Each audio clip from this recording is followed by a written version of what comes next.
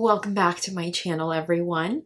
Uh, today I am reviewing the Murad Deep Relief Acne Treatment with Soothing phytosteroid, which looks like this here. Murad has had a number of launches this year, and I think this is my first Murad product review um, on the channel this year, I think. I could be wrong here, but if you are new here, my name is Nadia, and I'm a licensed esthetician who loves to test and review skincare products. Be sure to subscribe to my channel if you haven't already, and make sure that you hit that notification bell so that you are notified whenever there is a brand new upload.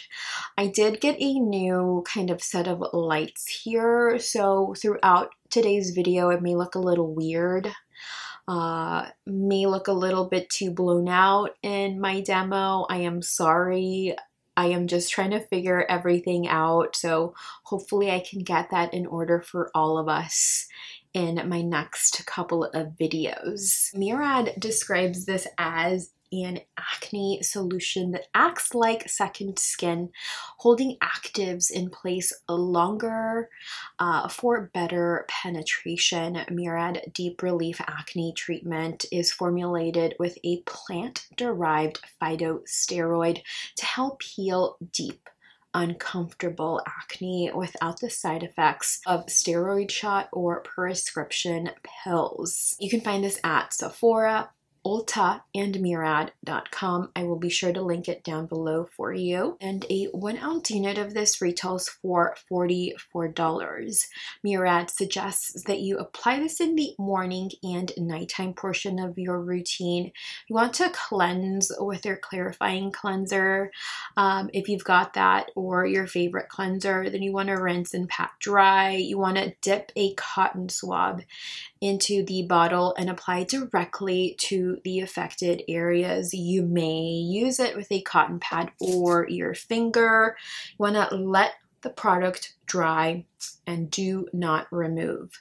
You want to follow it with your favorite moisturizer or SPF if you're using it during the day. Within this formula, we do see a 2% salicylic acid, which is the maximum that you can get over the counter here. Salicylic acid is best known to exfoliate and minimize acne, breakouts, and deep clean uh, your pores. Salicylic acid is a beta hydroxy acid, an oil loving acid that exfoliates deep inside the pores to minimize breakouts, congestion, and blackheads. We also see mushroom extract here known as the northern truffle mushroom. This ingredient has a soothing effect over the skin and it is best suited for sensitive, redness prone, reactive skin. This helps to calm and minimize redness. We also see a phytosteroid, a natural natural plant-derived alternative treatment that hydrates to soothe discomfort and reduce redness.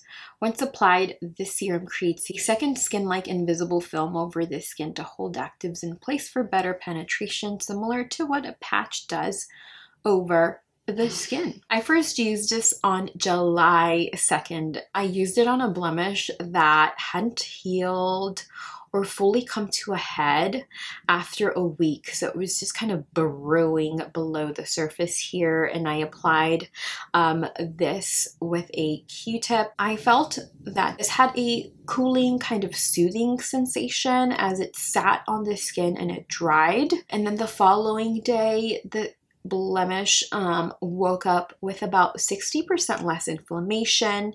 I did have another blemish under the skin on my chin that was about 70% less inflamed, and there was also some redness relief. On July 3rd, I noted um, dryness along the skin surrounding the affected area, and I will say that this only happened that one time, that initial application, and then every other time that I applied this product, I did not experience any redness on the surrounding areas, um, no red no dryness, no flakiness.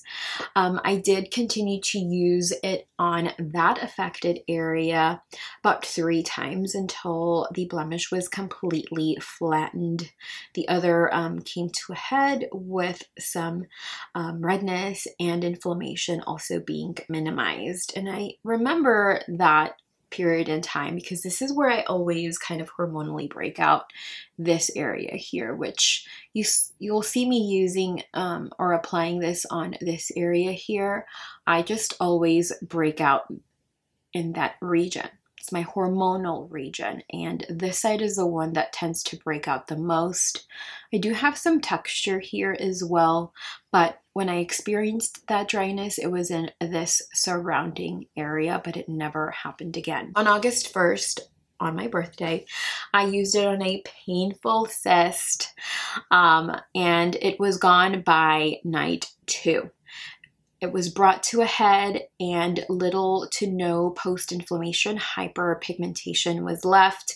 I typically suffer from post inflammation hyperpigmentation um, that lasts anywhere between one week to three weeks um, to heal, depending on how much um, inflammation or redness um, surrounded that particular blemish. And it also depends if I use vitamin C serums during the day as well. Um, just it all just depends on what I'm using on the skin or testing on the skin that day or that, you know, time period as to how long that post-inflammation hyperpigmentation will linger on my skin.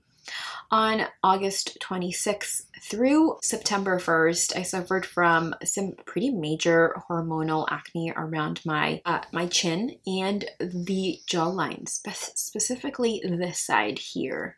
Um, and you can kind of see like some scarring, not scarring, but just post-inflammatory hyperpigmentation still kind of lingering around these areas when I'm filming my uh, demo here for you all. So I typically just see about one to two blemishes, but this time around I feel like I broke out along my chin and jawline with about four to seven blemishes, both small and on the more kind of like cystic, painful bumps um, with loads of redness, especially I feel like this one over here, um, redness, inflammation, and heat. I feel like especially with this little guy right here, there's it feels like there's some heat there. So I used both the Deep Relief Acne treatment on some areas and then in other areas I did use the Peter Thomas Roth Acne Clear Invisible Dots. Do let me know if you would like a review on these in the comments down below and I will be sure to get that up for you all perhaps do a kind of compare and contrast. And then inflammation and redness was reduced um, after use. Um, and post inflammation, again, was reduced, minimized. It literally, like, especially these here, I feel like I had way more happening in this area than I do now. And both the redness and inflammation was healed within a week. Uh, when worn under makeup, I feel like this did not interfere with its wear time or appearance. I do have this on here and in this area here as well as this guy. Like where did this guy come from? I hardly ever break out here, but I am glad that I did because um, that way I was able to demo this for you. Um, because otherwise I'd be applying it to like this area and there's not much happening here. We are pretty much healing over here here need some work. But this just literally came up last night. So I applied it here throughout my demo. Um, I have not broken out as badly as I have this year. I have made some changes in my life that have contributed to the increase in hormonal breakouts. Um, so I can say that I have reached out a lot more towards um, spot treatments, clay masks, blemish dots, and salicylic acid-based serums more this year than I have done so previously. And now I can actually speak a lot more um, as to how acne spot treatments work and how acne patches uh, perform on my normal skin um, as I am breaking out a bit more than I was used to. Um, and I do enjoy this as a spot treatment. I don't necessarily think this would be a seasonal item for me, more of like a monthly item for me, just to minimize again redness, encourage the blemishes to heal faster without that post inflammation hyperpigmentation. From using this, I have noticed that my blemishes come to a head a lot faster, redness, inflammation, and even that painful kind of warmth uh, cyst just is just healed faster. Um, this played very well under different serums, such as the Glow Recipe Plum Plump Serum. I'll link my review for that up above um, in case you'd like to learn a little bit more about that hyaluronic acid based serum. And this acne treatment also worked very well with their ceramide serum. Uh, when used during the day, I feel like this worked very well under mineral and chemical sunscreens as well as makeup. And even my medium coverage, which is what I am wearing here, the Kosas foundation and um, the Summer Fridays skin tint. This worked very nicely under that as well if you're more like a skin tint kind of person. Um, this also worked very well under my nighttime products, especially my hydrating routine products.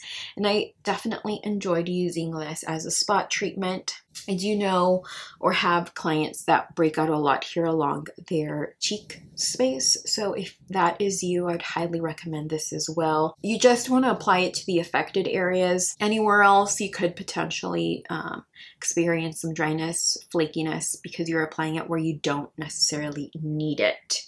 If you feel a bump brewing, apply you know, a thin layer, let it dry, and then continue with the rest of your routine. I would recommend this to anyone dealing with painful breakouts, big and small, as this hydrates soothes and visibly reduces redness and inflammation.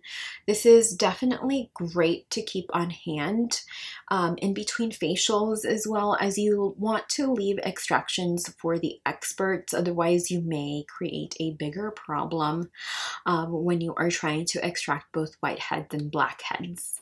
If you are on the drier side or experiencing a painful breakout, consider applying this on the blemish and avoid applying it anywhere surrounding skin um, as I did when I first used this. Um, after a while, I'd definitely apply liberally, just kind of want to see how your skin will react to this 2% salicylic acid solution. And then you can use this as a preventative um, before your monthly. I feel like this is definitely a results driven product. It helped to minimize redness, inflammation, and breakouts practically overnight. I like the formula. I didn't experience any pilling even when layering serums over top of spot treatment, my SPF or my nighttime moisturizer. I like that this does not include drying alcohols and it can be used anywhere in the body as well. So perhaps you suffer from backne Consider applying a thin layer on the spot on your back to help alleviate both pain, redness, and inflammation. This can be used with the rest of the Murad Blue range, but do not layer this under retinol or their vitamin C range. And do consider either using one or the other if you are a Murad lover and have, you know, the rest of his range. Um, just I either apply this or apply your other products, but do not layer those together. My con here, and this is a quite a big con, is the packaging. Um, I feel like the applicator or the lack thereof does need some work, although I personally do not mind grabbing a Q-tip or dispensing a small amount of product on um, the back of my hand here. I do make sure to pour some product out or use a q-tip or different q-tips if I have different spots throughout um, because you do not want to contaminate your unit. Um, and I have read some reviews and a lot of people that have used this have a problem with the packaging. So I am just pointing this out. Personally, I do not mind using Q-tips um, or just pouring out some product here. So I'm actually going to be docking a point and a half for the packaging. Um, I feel like that can be a bit of a deal breaker for some of you. I think the formula, again, is great. Um, I feel like it delivers on its claims. But again, the packaging could use some work here. I'll continue to use this on my breakouts, especially this little guy over here. But I will also keep you all posted in the bottom bar down below or in a pinned comment. Let me know if you have used this product by Murad in the comments down below. What were your results? Would you recommend this to anyone else in this community? Let's discuss in the comments. So thank you all so much for spending some time with me today. Really appreciate it. Um, be sure to like this video if you enjoyed it and subscribe to my channel if you haven't. And I will see you in my next video. Bye. Deep Relief Acti... What? So, hello, welcome back to my channel.